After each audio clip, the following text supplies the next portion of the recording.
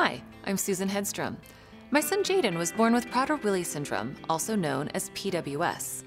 In this video, I'm going to explain briefly what PWS is, including how it occurs, some of the challenges of PWS, and promising research into treatments. Prader-Willi syndrome is a rare disorder that occurs in about 1 in 15,000 births. It affects males and females as well as all ethnicities with equal frequency. PWS is a neurodevelopmental disorder. It's caused by the loss of active paternally inherited genetic material on chromosome 15.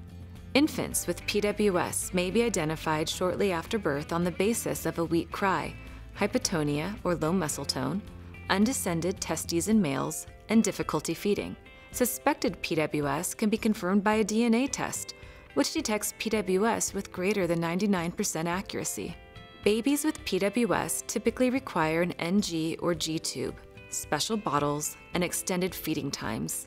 Careful monitoring of babies with PWS is necessary since some may experience failure to thrive. It's recommended to begin growth hormone as soon as possible. PWS is a spectrum disorder. Not every person with PWS will face every challenge that PWS can present. That said, here are some of the challenges that people with PWS may face. Hyperphagia is excessive hunger.